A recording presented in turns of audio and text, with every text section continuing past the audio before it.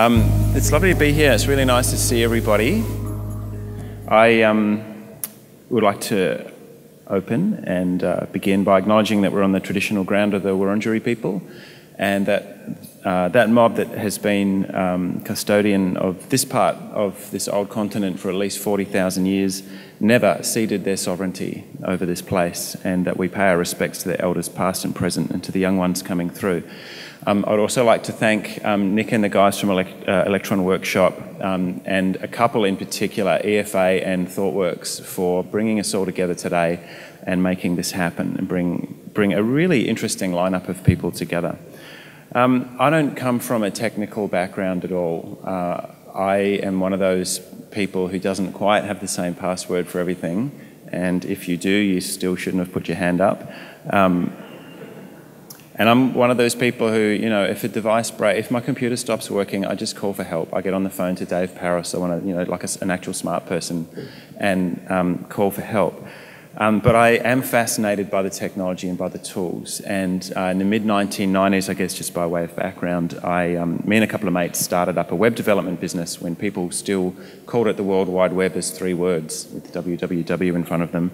Um, and I can remember seeing my first um, hypertext page, my first web page, on a, I think on a computer monitor in a showroom or something, and it had a photograph stuck to it, and someone had put a background tile on it. I was like, holy crap this changes everything. This is self-publishing, and this person may well have been on the other side of the world, and yet they stuck a photograph to it. And uh, I was hooked at that point. And I think I still am. Um, the power of the medium of being able to, um, that freedom to write, the freedom to read, the freedom to communicate, freedom to organize, using this medium, I still think is something new. It's something that never really existed before. And I don't want to kind of valorize it, and I'm no techno utopian, believe me, but I do think that we're seeing the emergence of a global civil society that didn't really exist before because the medium didn't make it possible. And we're seeing things that couldn't exist in any other medium. So stateless publishers like WikiLeaks, um, talking to some of the CoinJar guys last night about stateless currencies and things that are effectively post-national that couldn't really exist without the existence of this medium and its essential unregulatedness. But we should never, never forget that the medium is a creation of the military industrial complex, and I think maybe it wants it back. Um, the, you know, the first computers were invented in part to calculate ballistics tables for anti-aircraft weapons and the first computer networks were put together to allow defence and research labs to communicate to each other, including, I presume this is apocryphal, but maybe it's not, um, that the very network architecture that gives the medium its power was designed to survive a nuclear attack, that traffic would simply route around a black spot in the network. Um, but it is uh, this strange tension, and particularly when we come to questions of privacy, of the fact that it does, the network does have its military underpinnings, and it's being weaponized and militarized before our eyes. Um, but since you, since you mentioned science fiction writers, I'm not going to read in too many William Gibson quotes. I think I'm going to confine myself to just one. But this is one lovely one. Um, he writes, I'd always maintained that much of the anarchy and craziness of the early internet had a lot to do with the fact that governments just hadn't realised it was there. That there's been this remarkable anarchic proliferation and development of an online culture, largely unregulated and emergent from the, um, from the inception of the medium. And now governments are very, very well aware that it's there. And it's seen by politicians of a certain generation to be something threatening and something requiring much more control. And that's where uh, we start to run into some interesting questions about privacy. Um, a lot of the militarization of the medium is being done under the, the, um, the rubric of national security, this concept of national security, which is also used as a cloak for multiple other agendas. Um, and so um, anybody who's been following these ideas for a while will recognize that old cypherpunk concept, I guess from the 1990s or earlier, of this sort of spectrum where individuals um, have a right to privacy and concentrations of power have an obligation to transparency. And that's how you kind of balance up this, um, those, those two competing ideas. And I guess I would put it to you that Australia in 2014 is in the process of getting that equation absolutely ass backwards. That uh, we're being um, subjected as ordinary citizens to a transparency assault where privacy will be obliterated for our own good, at the same time as the national security state effectively withdraws itself behind one way glass to make itself even more inscrutable than it already is. And two concepts, I guess, that I'll put to you in terms of really practical, pragmatic examples of that balance that the cypherpunks have been warning us about for decades the idea of privacy for individuals and transparency for the powerful. Um, that there are two uh, things in play, I guess, in Australia right now that are quite stark illustrations of the two ends of the spectrum. One, obviously, being the idea of data retention and how that maps onto the existing regime of warrantless surveillance. And this is something that I'm a bit preoccupied with at the moment, as I suspect many of us are. And so I'm going to dwell there a little bit. And the other one um, is the idea that we just criminalise national security reporting in this country, that it is now unlawful for a journalist or for anybody working actually in any capacity, paid or unpaid, to disclose the existence of certain categories of ASIO investigation, no matter how badly wrong they go. So if, for example, the, uh, the ASIS bugging of the East Timorese cabinet rooms in order, as far as anybody's able to tell, to advantage a particular commercial player in gas negotiations with the Timorese government, uh, that is being justified on, under the grounds of national security. I think it sounds to me like predatory corporate behaviour, but who am I to know? Nonetheless, um, ASIO are now um, seeking warrants to bust the legal counsel for the people who were involved at the time, who've actually had an attack of conscience since then, haven't been able to blow the whistle through the appropriate channels because the appropriate channels aren't working, and have gone to the press. And I would argue that that story is powerfully in the public interest. If that had been cloaked under one of these new SIOs, Special Intelligence Operations, it'd be illegal not only to publish it, but to Facebook share somebody publishing it overseas. So we're all caught up in this. So that's, I guess, one really stark example of just how badly wrong we're getting the balance. That bill passed, that's in law. There's nothing that we can do about that for the time being. Um, but isn't it interesting? And I, I, don't think it's just me, even though I know I'm not, not um, strictly a representative audience, but there has been this extraordinary wave of regret um, expressed in the mainstream media. So the internet was already pretty angry about it, certain quarters of Twitter, very cross. Uh, but now you have um, people like Greg Sheridan, who writes for the Australian newspaper. It's rare, this is only the second time in my life I've quoted this gentleman, but I'm going to anyway. Here's what, here's what Mr. Sheridan wrote after the bill had passed, mind you, but here's what he wrote. Section 35P of the National Security uh, Legislation Amendment Bill, that's the ASIO bill. He writes, is a terrible piece of legislation that fundamentally alters the balance of power between the media and the government. In doing this, it seriously weakens our democracy and will ultimately weaken in quite practical ways our security. The Abbott government was wrong to propose it and the Shorten opposition wrong to support it. Brandis, uh, George Brandis and Mark Dreyfus, as the Attorney General and the Shadow Attorney General, should hang their heads in shame. That's Greg Sheridan writing practically in the Abbott government's newsletter, The Australian, having us. uh, it's actually not that funny, is it? Um, but, uh, you know, like quite a strongly worded and perceptive piece. And this guy is, you know, he is not uh, any fan of people like Ed Snowden or Julian Assange. He is of a completely different kind of national security reporting normally, but he's had a serious go at them um, Janet Albrechtsen, uh, another column in the Australian newspaper today, uh, as well as you know all of the usual suspects and probably a lot of people that you'll hear from during the course of the day have gone, how the hell did we let this happen and how can we get it off the books? The Labor Party curled up very, very small in a, in a small target fetal position, voted for the damn thing and are now having an attack of conscience, which really doesn't help us. So looking back with regret is useful only in so much as we can uh, organise how to repeal those sections of the Act that are so offensive, but please let's not have the data retention laws go the same way. It would really suck to be standing here uh, at a forum like this in a couple of months' time reading editorials about how it was a real shame that we let that happen. Um, I would love to imagine that we can use some of that anguish uh, that is being expressed in the media and in right across civil society and including quite senior political levels to say, well, enough's enough. Let's not have a repeat of that. Good morning.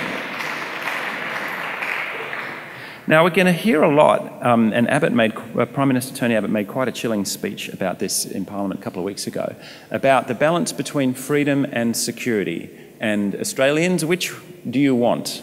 Apparently, you can't have both, um, which reminds me of a very old Ben Franklin quote. But this axis between freedom and security that we're going to need to move the needle a little bit to protect you is a familiar trope that's been around for a long time. That is obviously not not unique to the Australian political circumstance.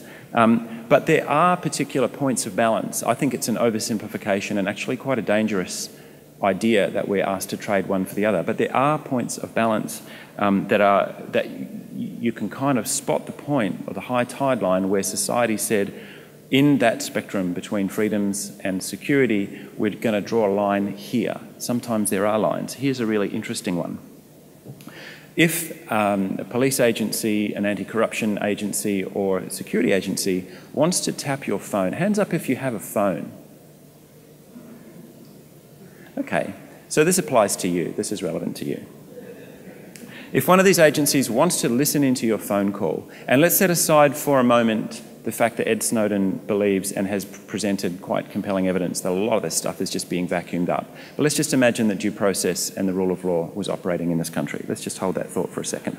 Um, if one of these agencies, like a police agency, Victorian Police for example, wants to listen in on your phone call, the procedural bar to listen in on your phone call and grievously violate your privacy, let's face it, like the state some guy you never met in some agency you might never have heard of listening to your phone call, that's a violation of privacy. That should only happen for a really good reason. So the procedural hurdles for them to do that are actually quite high. They have to put together an affidavit or more, and that can be quite a complex and arduous process. It has to go to a judge.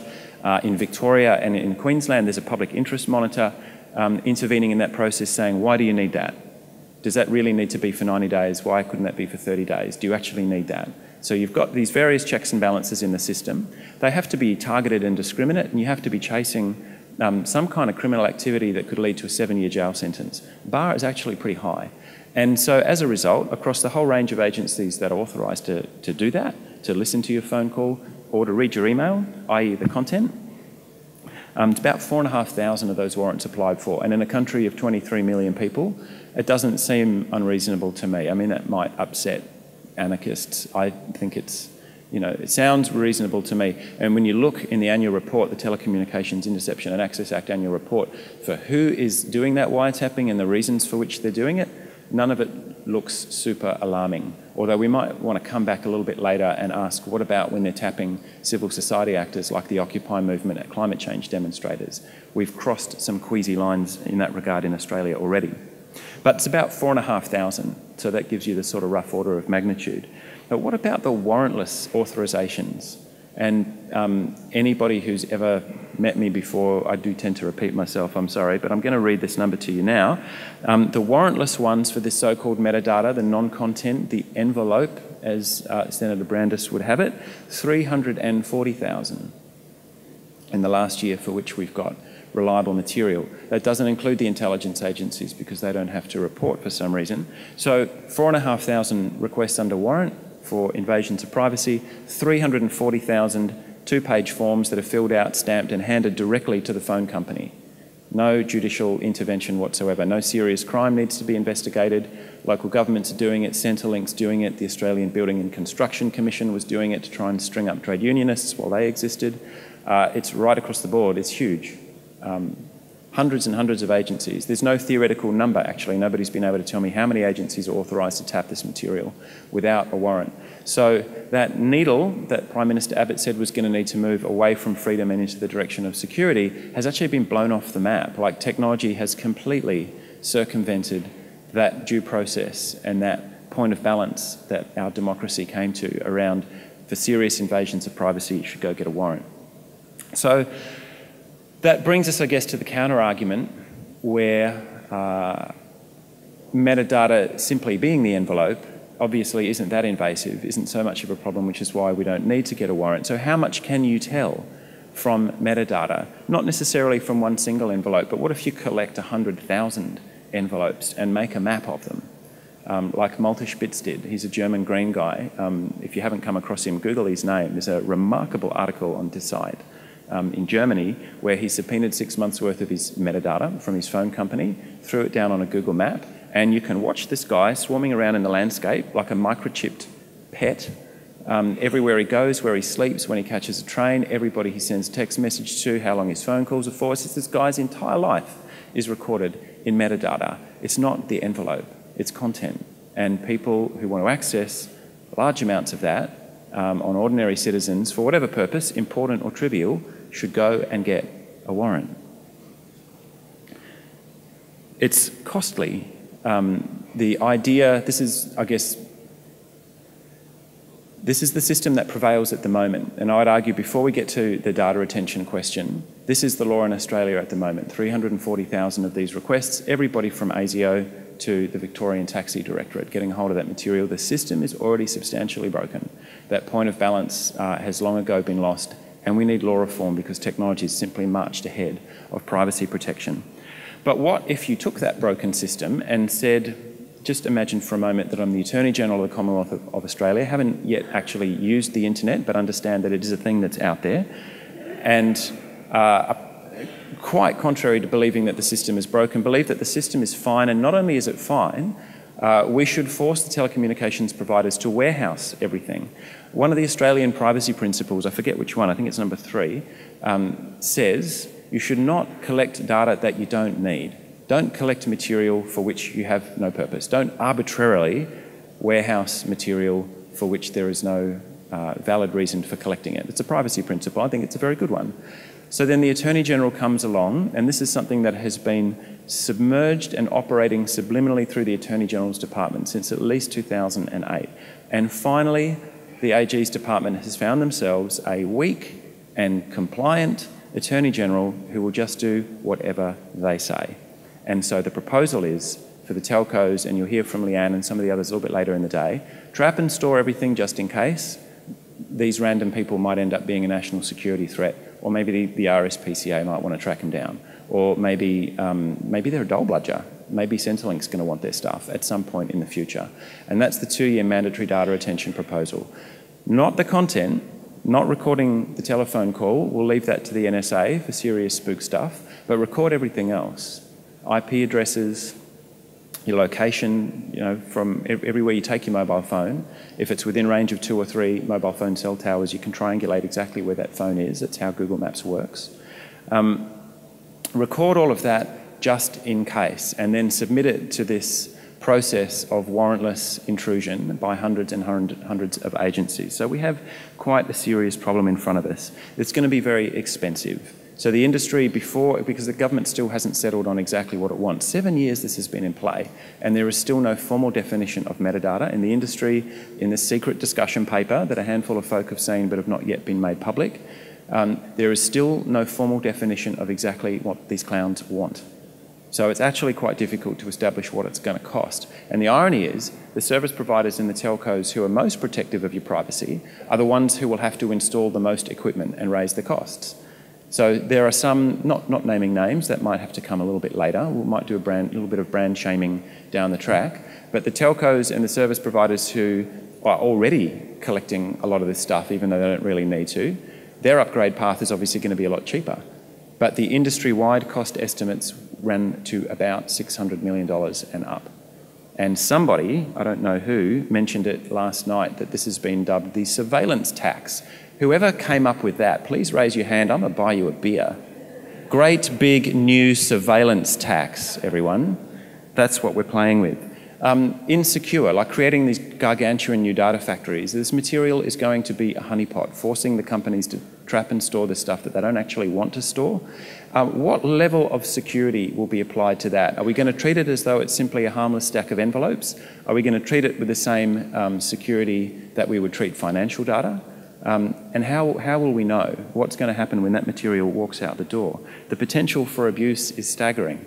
I made the mistake of opening up the Herald Sun this morning, and there's a story about bent Victorian police trying to falsify evidence and stitch somebody up after ramming their car. Did anybody see that story?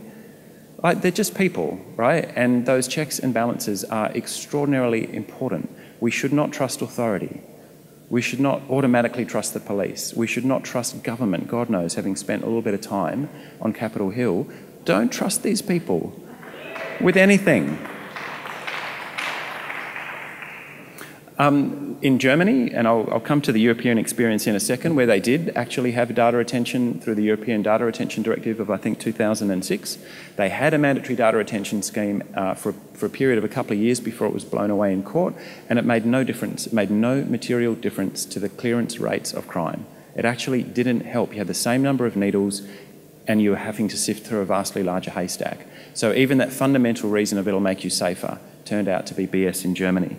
Um, and the case simply hasn't been made. Did I mention that this is going to be very costly, that it is in fact a surveillance tax? Can you all repeat after me on Facebook and Twitter?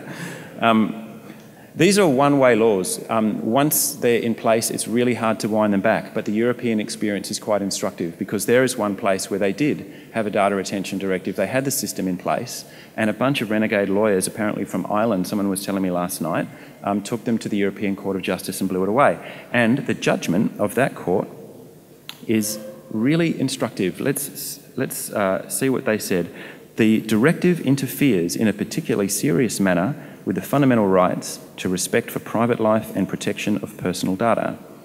Furthermore, the fact that data are retained and subsequently used without the subscriber or user being informed is likely to generate in the persons concerned the feeling that their private lives are the subject of constant surveillance.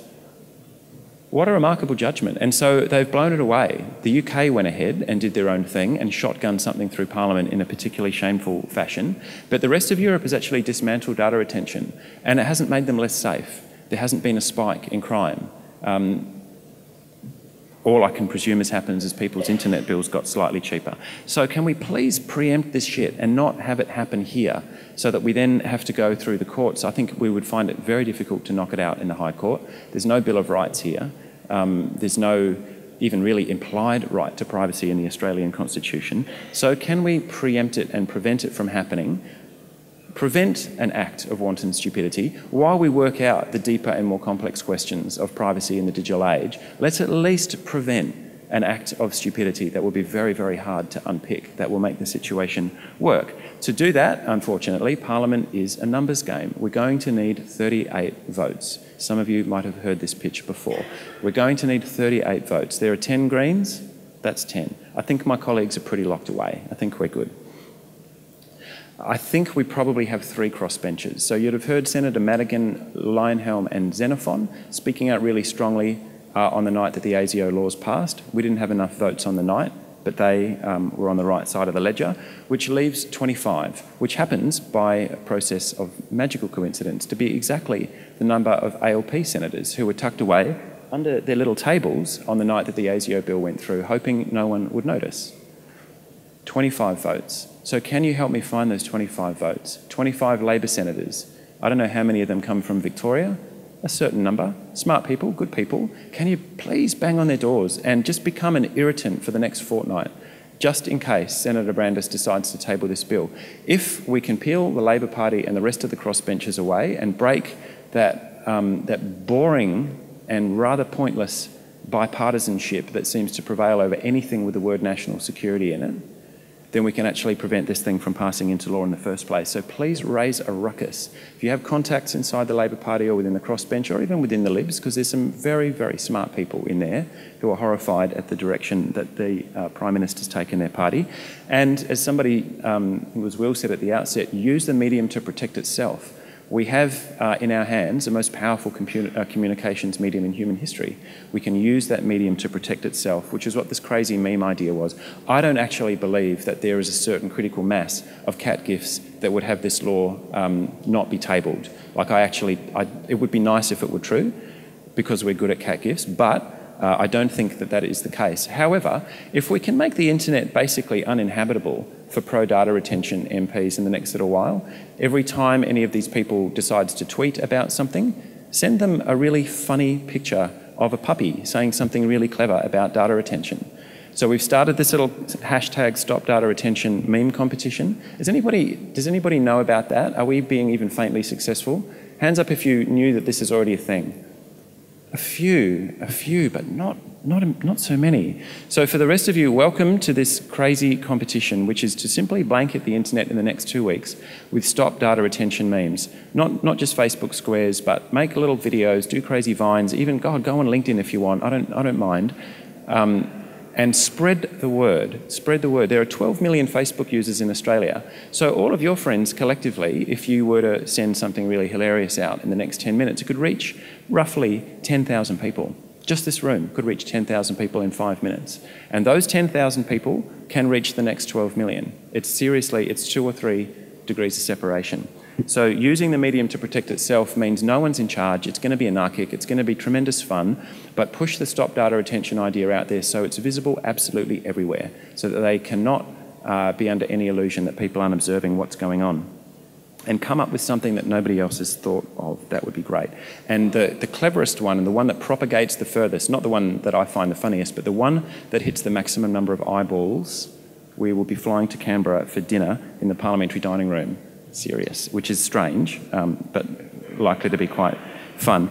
Um, so it's really a kind of swarm politics against the machine, and effectively we're looking for those 38 votes by any means necessary um, to delay and delay and delay. This is the third iteration of data retention laws. The first two were squashed, once in 2010 and once last year, and we have to squash this one as well. And it'll come back and we're probably going to have to keep fighting this and other acts of relentless stupidity over and over again. But at least this time, let's see if we can knock it off the table um, and find our strength. We found it during the NetFilter campaign. Again, it was a rather anarchic, swarm like, uncoordinated, brutally effective campaign. That's the reason that we don't have a mandatory internet filter in Australia in 2014. And there's people in this room who are responsible for that.